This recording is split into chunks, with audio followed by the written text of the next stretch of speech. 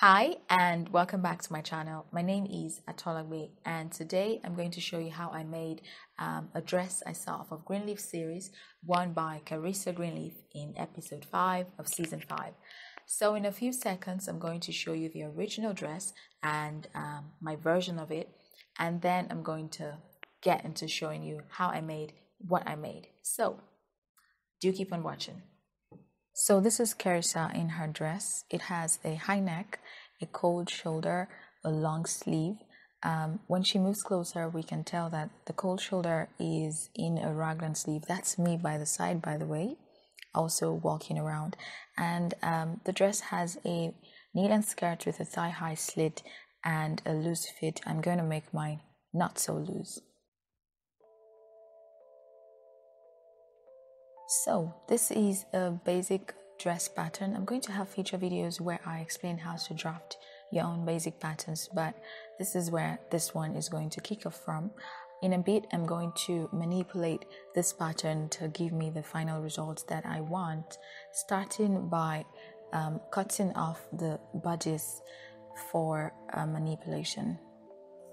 Okay, now my bodice is by itself. The first thing I'm going to do is to transfer the shoulder darts to the side by drawing a line, you know, in the side where I want the new dart to be. Obviously, I have to transfer the shoulder dart because it would be standing in my way as I um, make my raglan sleeves. So I'm going to do that by cutting out the shoulder dart, slashing open the line that I just drew, and then I'm going to close the shoulder dart you want to tape that down in place and then you want to um, get a scrap of paper to close up the side dart which is now our new dart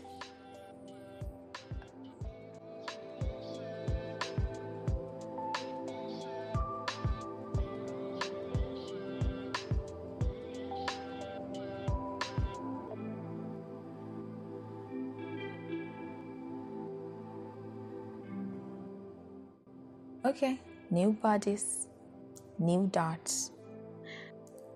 So what I'm doing here is to just um, expand the neck a little bit.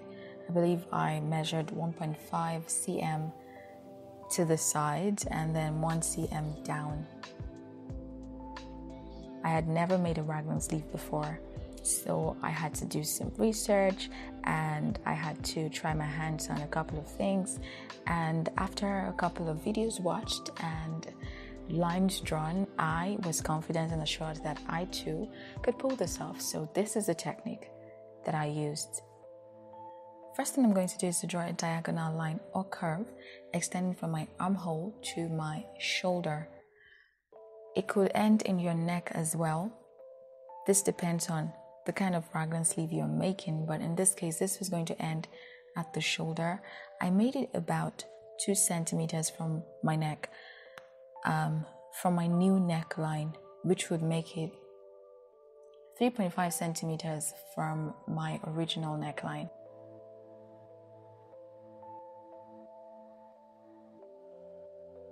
Now I'm measuring the distance from my um, side seam and that is a 6 cm. So you want to record that because we're going to translate it into the back bodice and into the sleeve as well.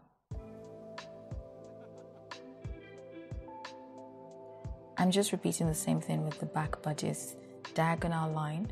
Make it a little curved but then it, it doesn't have to be curved. It could be a straight line as well. Just you know be sure that you're precise with the measuring and you um, sort of ensure that you're keeping it constant between the front and the back. 6 cm again.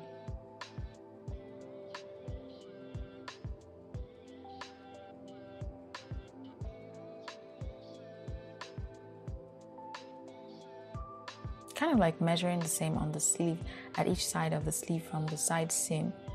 Um, just 6 cm at the back and at the front.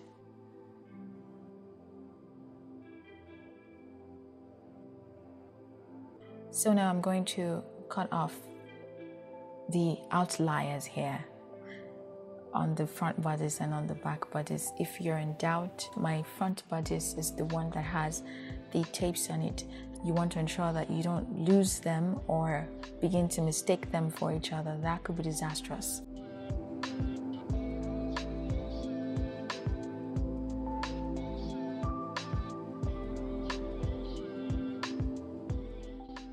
So I'm going to take this baby's hair and I'm going to attach them to the sleeve like this, back to back and front to front. I'm going to align them such that they um, sort of touch the six centimeter point that we measured on either side of the sleeve. Okay, so that it corresponds accurately with the bodice. And I'm going to secure that with tape. I repeated the same thing with my front. As you can see, I aligned with the six centimeter point and it doesn't matter if there's some overlapping, it's okay.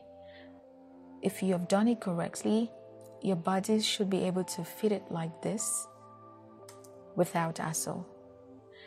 Now, this little space here is where, if you were making a full raglan sleeve, this is where um, the angle for the shoulder, the angle where the shoulder sits in, is going to form.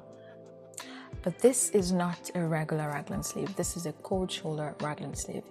And as such, we're going to, in a bit, make that cutout that is going to create the peekaboo at the shoulder. I'm just folding it, folding my sleeve so that I have a better view of what the final um, sleeve is going to look like and I can judge from there.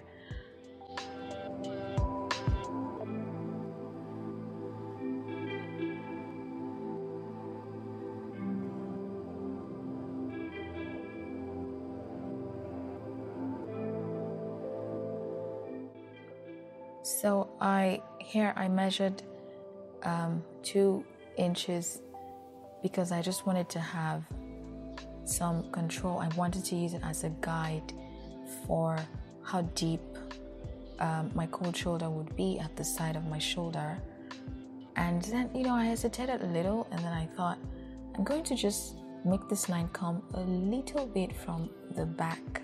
You know, in retrospect, I don't think it made any difference, but the assumption at the time was that it was going to make my um, cold shoulder swing backwards a tiny little bit. But this is how you draw the line. This is how I drew my line.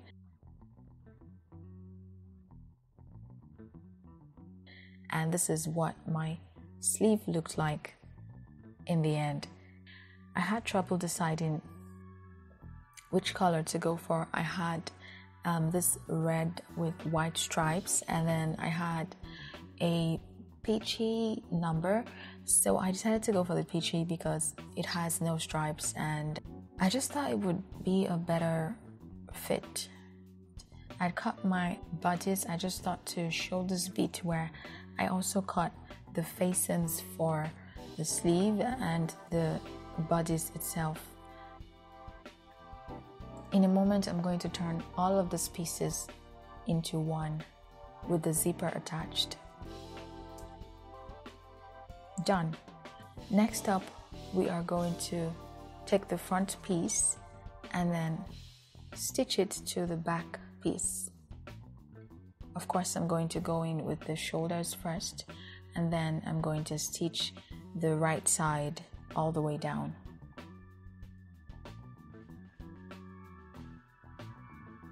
Now that is all done, so I'm going in to cut out my slit. Looks something like this. Obviously, the depth of this depends on your personal preferences. Now, I was going to layer this extensions when I realized that, oh, I should have done the layering in the waist seam first. And so I grabbed my um, seam ripper and then I went into the waist seam and I took it apart as quickly as I could. I only did it about midway into the dress. So now I'm back with the piece of extension and I'm going to layer it. This is all done and ironed. It looks like this and underneath it I have my slit. Uh, I already finished all of these edges with a blind hem stitch. I have a video on that. You might want to check it out in order to know how to make one. So I'm just going to go ahead and pin this extension onto my skirt and then I'm going to go in with a straight stitch to stitch the left side of the dress